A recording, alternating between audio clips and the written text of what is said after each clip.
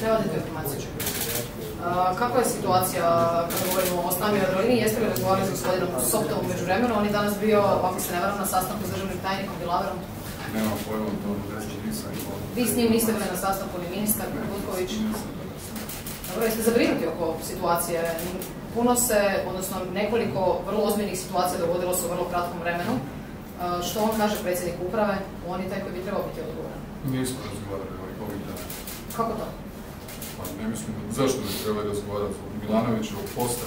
Ne, zbog situacije u Jadroliniji, to je nešto što Ajmo zanima, što mi pretpostavljam razgovarati. zanima većinu građana više Ajmo možda. mi, ajmo mi razgovarati o skretanju pozornosti sa pravog problema, pravi, pravi problem čitave ove lijeve scene u Hrvatskoj je u biti kako opravdati Milanović.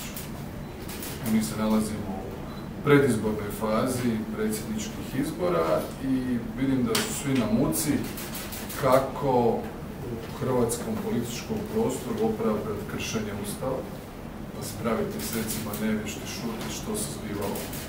To je ozbiljan problem, fali narativa, fali argumenta. Kako opravdati vrijeđanje novinara, kako opravdati brutalne e, urede političkim protivnicima na najvulgarniji način na hrvatskoj političkoj sceni, kako opravdati bahatost i rastrošnost u korištenju javnih resursa, u ovom konkretnom slučaju resursa Ministarstva obrane. To je pitanje. Dakle, da bi se sve to sakrilo, napiše se neki post i to tjednima nakon što se dogodila ova teška nesreća na koju smo mi reagirali, na koju, kojom se bave i policija, i DORH, i agencija za nesreće u zračnom, prometnom, željezničkom i cestovnom prometu, i gdje se ide po proceduru. Dakle, to nije bitno, važno je skrenuti pozornost sa očito flagrantnoga, nedopustivoga i neobjašnjivoga ponašanja koje je van svih okvira. Dobro, ne mislite valjda da su te dvije teme za uspjeh uopće? Govorimo o troje mrtvih, to je tema koja je vrlo važna, radi se su Jadrolinije, pala vezane- neki dan. Te teme su isključivo vezane, nije neki dan. Vi ovo pitate radi posta, ne pitate to radi Ova Jadrolinije. si- situacija sa trajektom Ljet se dogodila neki dan. Kažem neki Pa dan, to je bilo prije nekoliko dana. Moglo se dogoditi, kažu broj, ka- kažu Tehnički- brojni stručnjaci da se moglo Tehnički dogoditi. problem koji će rješavati Jadrolinije. Dobro, ima li odgovornosti za to? To je važno. Postoji li odgovornost u ovom slučaju? I u ovom prethodnom? Ni u onom, ni u ovom slučaju. Nitko ne prejudicira ničiju odgovornost, a hajku političku koja se zbiva, nećemo dopustiti. Hoćete li insistirati na tome da, da saznamo tko su odgovorni i da oni zaista odgovaraju na kraju?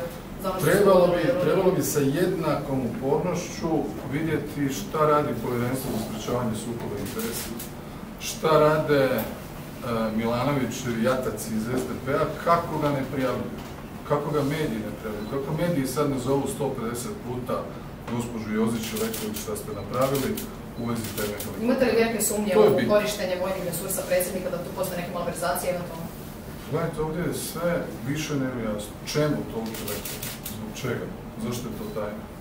Šta je to klasificirano? Pa, Da bi se onda njegovi jataci bi se čak uprli toliko daleko da stavljaju u fokus to da li ja odem na neki otok policijski brod.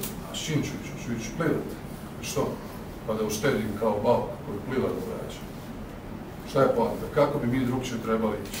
Dakle, Božinović vam je danas objasnio kako funkcionira sustav štićenih osoba, što radi hrvatska policija, jednako prema svim štićenim osobama. Dakle, Milanović ima jednak tretman kao što ga ima Jandroković, kao što ga imam ja. Da ima sve isto.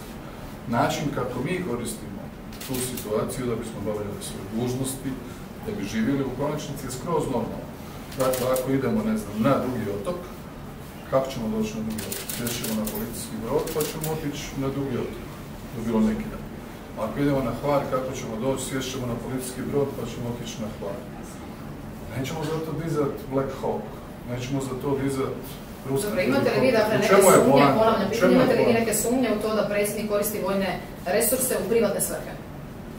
Za što ih koristi? Evo recimo, taj isti Milanović, slušajte, Ako imate sumnje, zašto vi to ne prijavite? Taj isti Milanović nas napada mjesecima zajedno sa bulumentom njegovih jataka za odlazak u Helsinki 2017.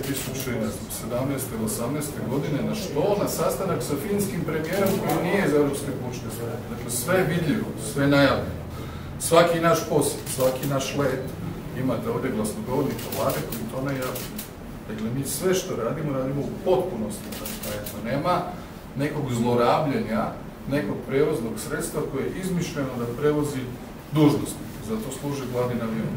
Ne idemo vojnim sredstvima. Dakle, niti transportne helikoptere, bili oni ruski ili neki drugi ili ovi Black Hawkovi, nismo kupovali da taksiraju. Zašto bi to bilo normalno? Kome je to normalno? Pazite, ovo se pokrenulo u temu ko je javio medijima negdje da, neko, da negdje ovaj leti. Dakle, nije pitanje zašto leti, što radi, kome ide, zašto troši taj, taj resurs vojske, nego ko je javio. Vama je relativno nedavno bio problem i to upravo kako cure informacije. Sad vam to nije problem, što klasificirane informacije cure u javnosti. A šta je tu klasificirano? Pa to su bili klasificirani podaci do trenutka dok predsjednik nije objavio u tablici, imao popis, popis Što je tu klasificirano? Što? Podaci o letu, o letu predsjednika. A, zašto vama to nije problem? Koje sigurnosti za nešto bilo tri godine? Za šta? Jasnite, za što? Dobro, što je vama to što je sporno? Hoćete li vi prijaviti to povjerenstvo da ja? Pa nisam ja Hajdaš Dončić ni Grbin da prijavljujem povjerenstvo. To je njihov sport. Dakle, ovdje je bitno da vidimo dvostruke kriterije u hrvatskom medijskom i političkom prostoru. Da je ovo slučajno napravio predsjednik iz HDZ-a, vi ovdje ne bi mogli disati od prijava, od komentara, od napada, od pritisaka. Ovdje sada obrnuto vidimo kako su se neki uprli, ne bi li skrenuli pozornost na neku drugu temu. To je bit. Dakle, ovo je fantastična, razotkrivajuća vježba za licemjernu hrvatsku ljevicu koja podupire SDP-ovog predsjednika, on nije predsjednik svih građana, došao bi tamo na glavni odbor, krenuo kršiti ustav, neustavno sudjelovao, odnosno protuustavno u kampanji na parlamentarnim izborima, onda nešto je šutio nekoliko mjeseci i sada kad vidimo o čemu se sve radi, sad ćemo pokušati u javnom prostoru zaboraviti o čemu se radi. Neće. To je cijela plana. Hoćemo li zaboraviti, hoćemo li zaboraviti Jadroliniju ili nećemo ipak? Inzistirati nećemo, naravno da ne. Samo se sve radi. Radi za to nadležna tijela. Radi halika. Što kažete na optužbi da ste koristili policijski gliser u pripravnici? Jeste me slušali sad? Jeste slušali što sam govorio? Onda sam odgovorio. Kako mislite da sam optužen da sam koristio u privatni sve? Objasnite. Ko to kaže? Ovi o kojima ste govorili ranije. Ko? Ljevica. Ljevica? Kako sam ja to koristio? Što se rekli, policiji gliser u privatnom sam, mi to objasniti. Dođe mi nazove Božinovića, znaš šta, bi se malo vozila gliserom, ajmo se malo voziti. Jel možemo tako? Jel to plan? Onda, znači, lažu. Licemjer, skreću pozornost, štite svog stranačkog kandidata i predsjednika. To je cijela plana. To je sad toliko očito, to možeš biti zaista slijep da ne vidiš o čemu se radi.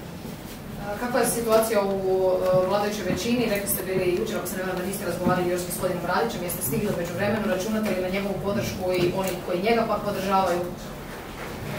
Pa ne, nismo se obaveze. Što se većine tiče, ona je stabilna. Niti smo se petljali u unutar stranački proces izbora u DP-u. Imat ćemo sastanak koalicije, nije ga bilo danas, kad dođu kolege, nismo sad vidjeli neko vrijeme, osim ovih koji su članovi vlade. Čut ćemo kakva je situacija i funkcionira dalje normalno. Već sam vam rekao da smo mi proteklih nekoliko godina naučili funkcionirati sa većinom koji drži stabilnih, ozbiljnih, pouzdanih i povezanih sa jasnim programskim i političkim ciljevima 76 zastupnika na isti način kao da je 150. Tu vještinu političke stabilnosti znamo, tu smo jako uspješni, jako dobri. Zbog toga Hrvatska ima ovakve ekonomske rezultate o kojima isto se malo govori.